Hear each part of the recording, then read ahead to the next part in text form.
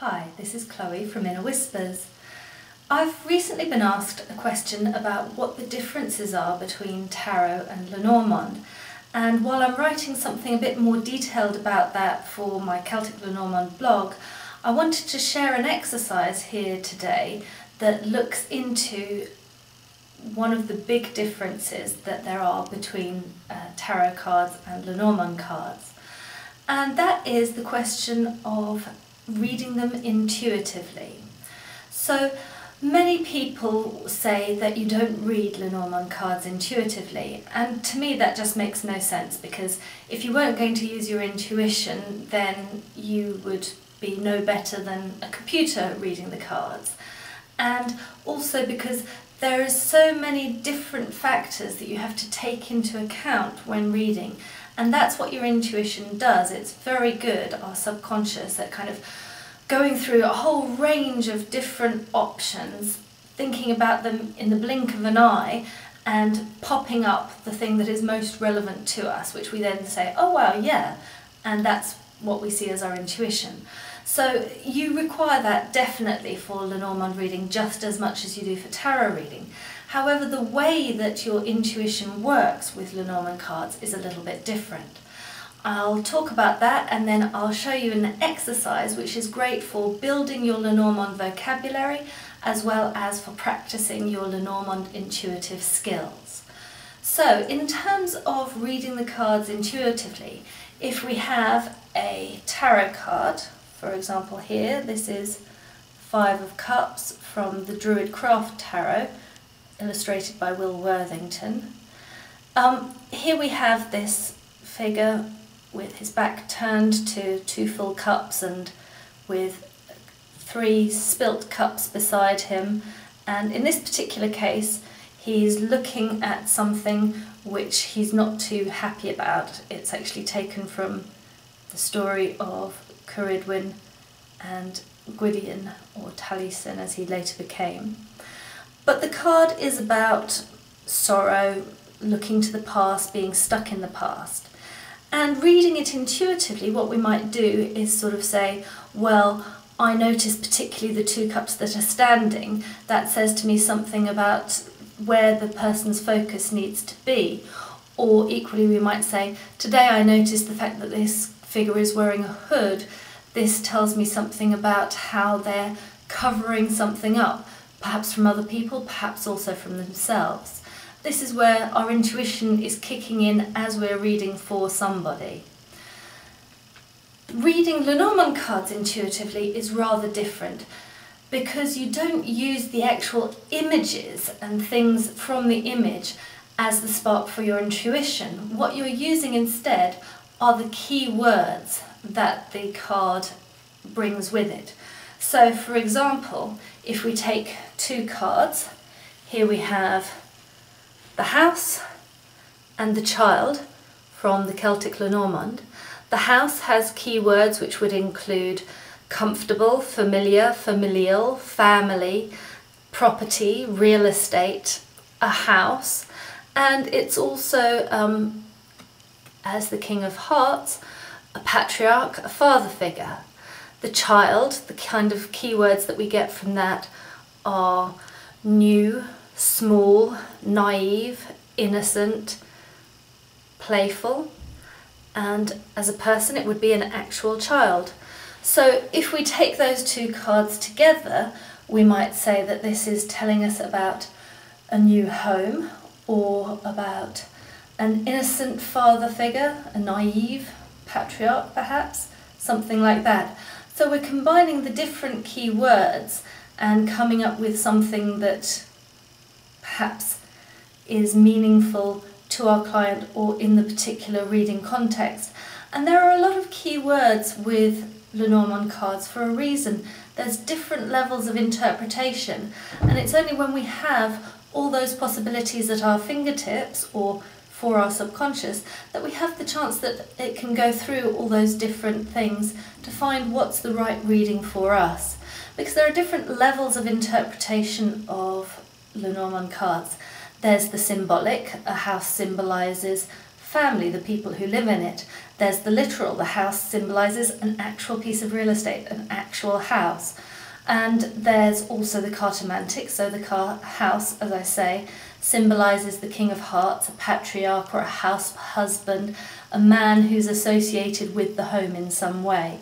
And these are different levels of interpretation for the Lenormand card, and every Lenormand card has a number of different levels of how it can be interpreted in terms of a person, in terms of timing, in, in terms of descriptors or verbs, and as I say, the literal or the symbolic.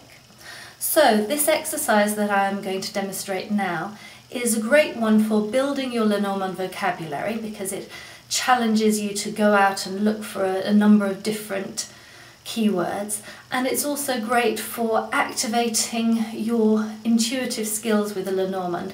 You do it a few times as a kind of practice exercise and then once you've done that, it's kind of teaching your subconscious how to do this intuition with Lenormand cards so that then it will just come naturally um, as you continue to read. So it's a, a fun exercise and we'll go through the different stages of it now. So the first step is to write out a list of keywords for the cards that you've drawn.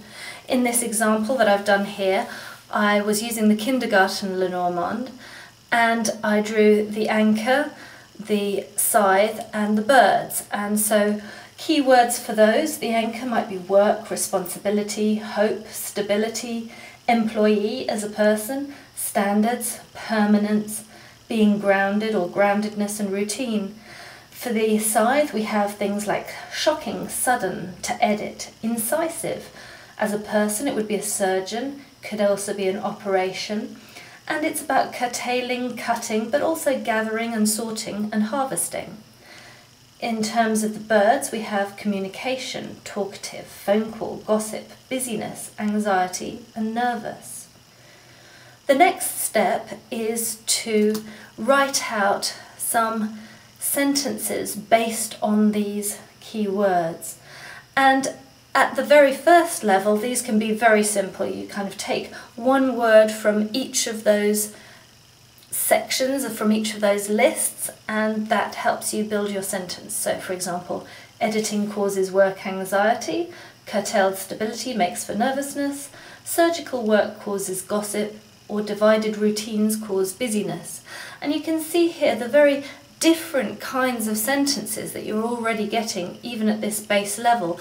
And your intu- mm, excuse me your intuition has to work through those deciding which one is the most appropriate to the particular question and the particular client that you are reading for at that time. The next step is to write combinations of the key words so here for example we're combining the keywords from the anchor and the keywords from the scythe so that we come up with a combined set.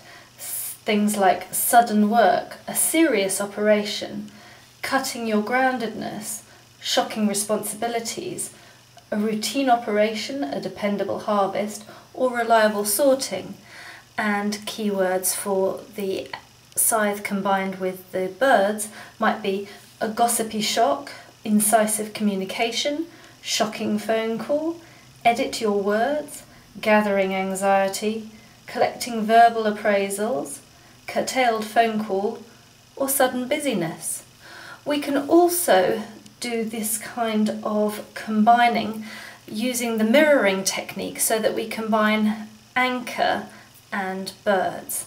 And that would give us things like work gossip, responsible for anxiety, hoped for phone call, nervous employee, dependable communication, performance anxiety, busy work, anxiety around stability, and reliable conversationalist. The next stage would be to use these combinations that we've come up with to make somewhat more complicated sentences so instead of just editing causes work anxiety, we might have editing work to make your communication more incisive, or your stability is cut by shocking gossip by a talkative employee. Sorting out work responsibilities will cut busyness and curtail performance anxiety. Hard-working surgeon's phone call is sudden and responsible for anxiety. Gossip at work must be reliably curtailed through incisive communication. So here you can see that we're using these different combinations of the words, not just reading card 1, card 2, card 3, but reading cards 1 and 2 together, cards 2 and 3 together, and cards 1 and 3 together as well to create this more nuanced meaning. The final step is to hone in on a particular interpretation which feels meaningful to you and to dig deeper into it. So here we might take this particular reading um, and take the basic sentence, editing work causes anxiety. Well, why is that? If we use our combinations, we get some more meaning from it, for example, because sorting out what standards to apply to make your communication more incisive is keeping you very busy and is hard work, and it requires a great deal of precision, which you are nervous about. So all of these are key words or combinations from these three cards, but we're digging deeper into it, taking more meaning from them. And we can also use the cards to look for help. So what can you do about this situation where you're anxious about editing? The anchor says get more grounded. The scythe says to divide the task into manageable chunks. And the birds say to express your worries so as to unburden yourself. We could also see this as a sort of combined thing, something new that came up, Communication anchors cut anxiety. What does that mean? Well, communication anchors are an NLP technique for helping, for example, with performance anxiety, which was another one of our sets of keywords there. And so, communication anchors, building your confidence for when you're doing this so that you know your communication is incisive, would help to cut your anxiety. And so this suggestion or advice from the cards is still based on those same three cards that we originally drew. This is a way to dig deeper into the reading, get more out of it, and all using your intuition to find what is the relevant bit for you, which are the relevant combinations. I hope that you give this exercise a go and that you find it helpful in making your readings more nuanced and also that it will gradually help you to find them more easy to come up with, that it will become an unconscious competence that you can develop these triggers of keywords when you see the cards, because that's what intuitive reading with Lenormand is all about.